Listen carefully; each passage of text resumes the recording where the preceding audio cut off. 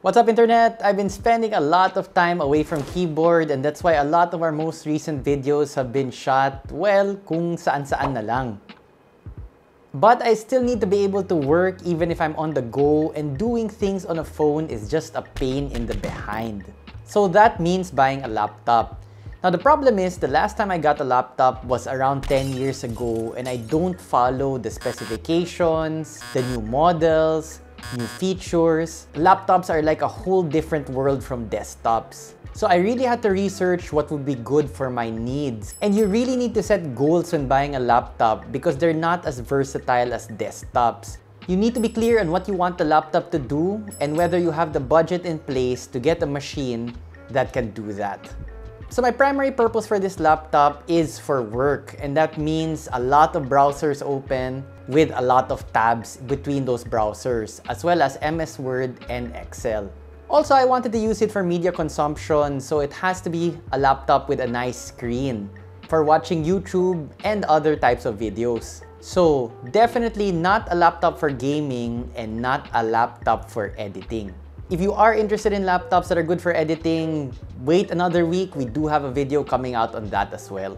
So taking into mind my primary consideration, what I need the laptop for, I settled on the Asus VivoBook S14 Flip OLED. This is not a sponsored video. I purchased this laptop with my own money and Asus doesn't even know we're coming out with a video on this laptop. Do you know what's also useful and quite affordable? Getting rid of that pesky watermark by obtaining an original and discounted Windows product key from our sponsor CDKey Offer. Step 1. Click on the link in our video description corresponding to the version of Windows you want. I'll select Windows 10 Pro. Step 2. Make an account with CDKey Offer. Step 3. Add to cart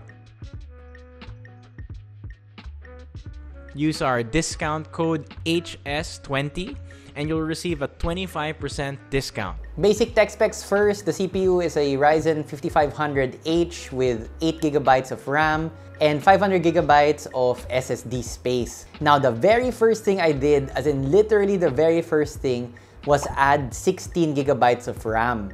And I had our guys in the shop do that. Yes, Hardware Sugar now works on laptops. We can do laptop cleanings and basic upgrades. And our very first guinea pig for that service was my new laptop. If I trust the guys in the shop to work on my own personal items, then I trust them to work on the items of customers. All of these tech specs translate into a very smooth experience for what I needed to do.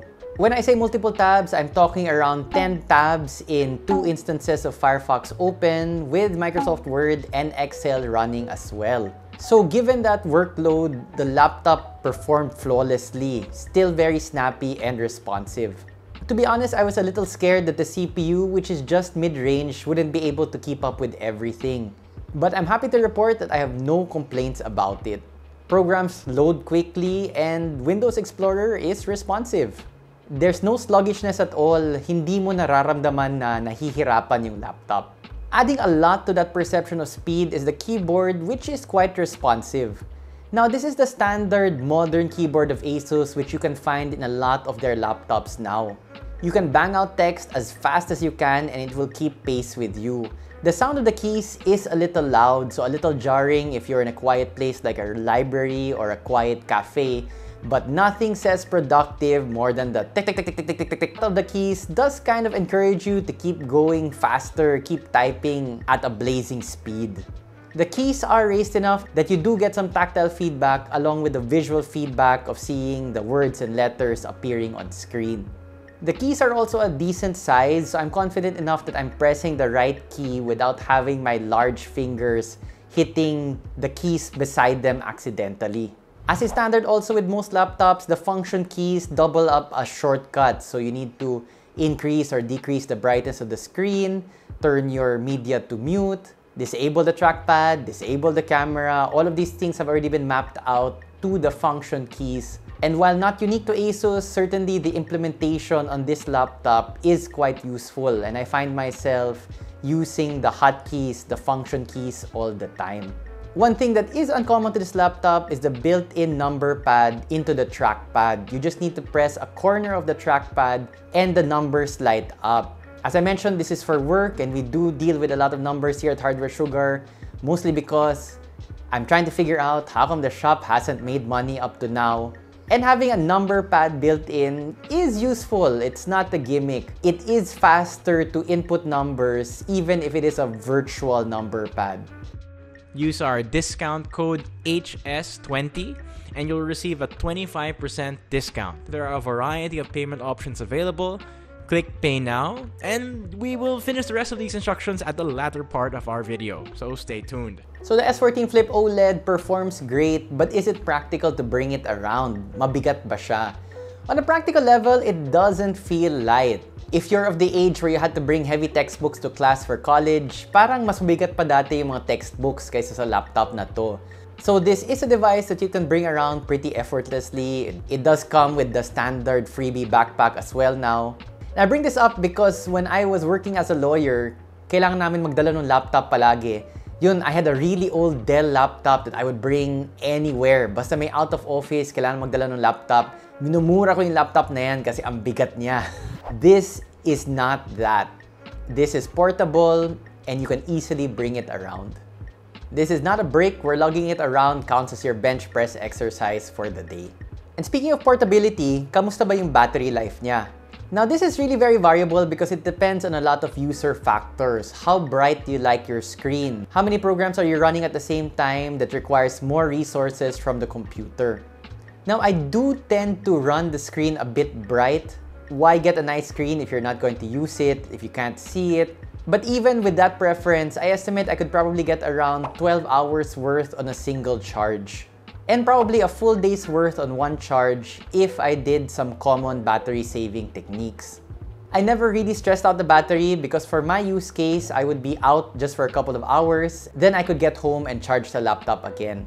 So battery life is decent and probably good enough for most of the use cases for the types of work that you would need this laptop to do. So far, it's been great. I no complaints. Two thumbs up, 100% for executing on what I primarily need it for, work. But as I mentioned earlier, I also bought it with watching videos in mind. That's why I got the OLED version. Frequent viewers of the channel know that I have fallen in love with OLED. I can't go back anymore. I thought IPS screens were great before, but after seeing OLED monitors, it's OLED or nothing for me. And if I'm going to watch videos, then I want it on an OLED screen. The screen of this laptop does not disappoint. The vividness, the vibrancy, all of the things that I've come to expect from a good OLED panel can be found in this laptop. And I recently got to try out a more expensive laptop, also from Asus as part of their ProArt line. So yung pang creators, designers, video editors talaga.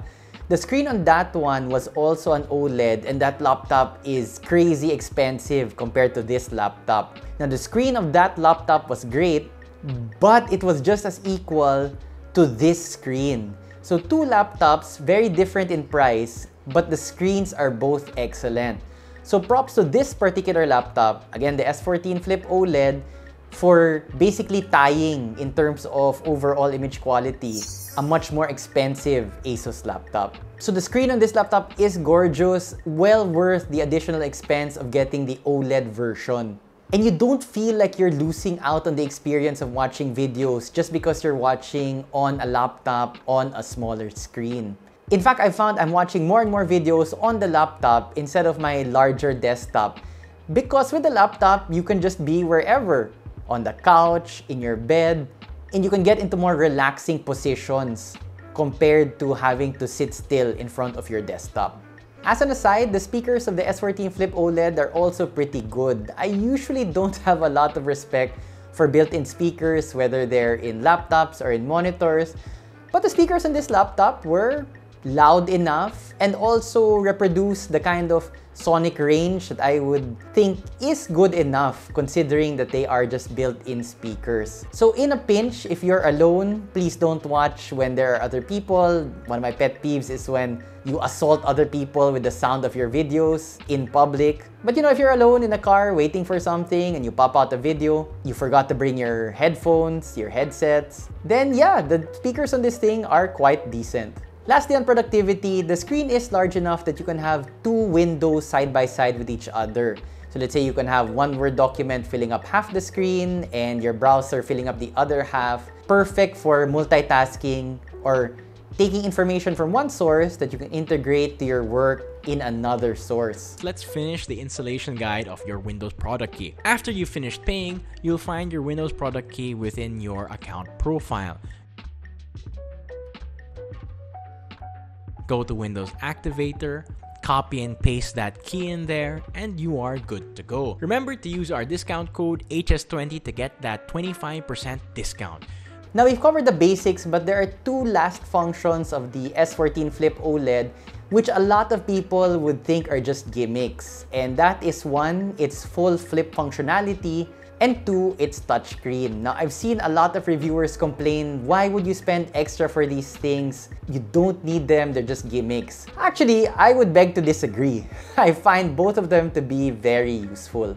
Now, Asus didn't invent the flip category, I believe it was Lenovo back in the day with their first Yoga lineup where you could flip it all the way and it kind of becomes a large tablet. And the idea has just been refined since then. What the Flip allows you to do is to use the laptop comfortably. Because of its form factor, you can bring the laptop in a lot of spaces, niches that you couldn't bring other devices. And the Flip allows you to adapt to whatever space you're in. Do you need the laptop standing straight up completely? Are you more comfortable with it in tablet mode? You really can't tell until you need to figure it out. And you need to maneuver the screen to an angle, to a position that you find the most comfortable to wherever you're in. The flexibility of the flip means you can adapt to those situations. Whether it's super cramped in a car, spread out on a couch, crunched up in an airplane seat, you won't really think you need the flip function until you don't have it. And it's basically the same with the touch function. I found it super useful for scrolling, for reaching out to pause a video instead of having to look for the spacebar. The touchscreen gives you more versatility, which is what you want in a laptop. Since space is at a premium, the more possibilities of interacting with the device, the better. The more contact surfaces between the user and the device, the better. So I found both of those features to be very useful and it really makes me appreciate the small form factor of a laptop compared to a bulky desktop. Finally, filed away under the miscellaneous category, the power button also has a built-in fingerprint sensor which is quite responsive and accurate. I don't know how they were able to build in such a small sensor into that small button but it works and it works well. And again, it's not something that I would immediately think about, but it's something super practical to have and nice to use. And that's been a running theme with my use of this laptop. There are so many features that seem a little gimmicky at first, but are great for usability, for quality of life as you're using the laptop, especially if you're using it for extended periods. So my only gripe really about this laptop is more about the software. Windows seems to be doing weird things occasionally. Like I booted up one time and then suddenly it's asking me for a recovery password because apparently my drive had been encrypted by BitLocker even though I didn't tell BitLocker to do such a thing. So I had no idea what my recovery password was. It's like na ransomware ako, but not by a malicious program, but by my own OS.